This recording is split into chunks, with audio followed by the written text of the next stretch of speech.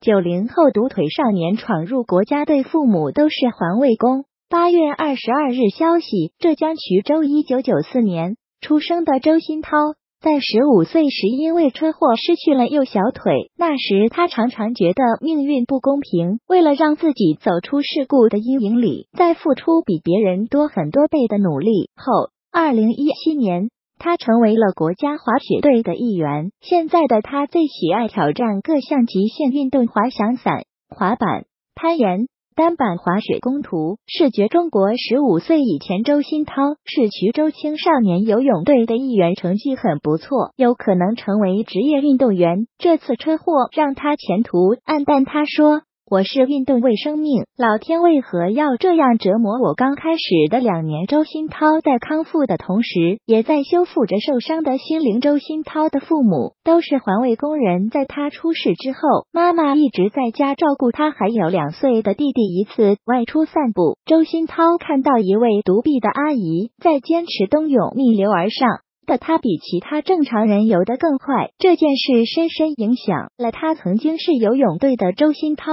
也想在水里找回自信，因为失去一条腿，下水后他总难以掌握平衡。恢复训练又碰到了瓶颈，后来同样之残的赖建华成为了他的游泳教练。因为本来就有游泳的底子，周新涛很快就掌握了单腿游泳的技巧，同时也让他慢慢找回了自信。十九岁。以前的周新涛出门一定要穿长裤，隐藏自己的一只，把腿包装成与正常人一模一样，让别人一丁点都看不出异常才放心。后来，周新涛被选入浙江省残疾人公路自行车队以及残疾人单板滑雪国家队试训，与肢体健全的高水平选手们一同接受训练，重拾自信后，他便完全不在意一只的存在了，甚至略微得意地说。我单腿可以完成正常人做不到的事，很酷。朋友都称我刀锋战士，独立完成一次无动力滑翔伞飞行，对普通人来说都已经很不容易，对周新涛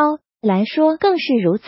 运动一两个小时左右，周新涛的一只和皮肤接触的地方就会疼痛，一只会和皮肤摩擦，一只硅胶套又比较闷，里面经常会有汗液堆积，所以得时不时的脱。了清理一下，重新穿。周新涛有许多一只可以适应不同的运动，滑雪、跑步、骑行都有专门的一只，里面还有汗液抑制剂。每次他都需要根据运动的需求，事先考虑好选哪一款一只。一天的暴晒令周新涛的身上晒出了背心的黑白印记。周新涛说：“运动并不烧钱，费用靠专业训练的补贴和业余时间当教练积攒。”足以支撑。对周新涛来说，最贵的其实是一支装备。先后有两家公司为我提供了一支的赞助。运动一支价格比较昂贵的，如果没有他们的帮助，我个人其实没有办法承担。周新涛的父母都是环卫工人，读大学期间每个月会给他少量生活费。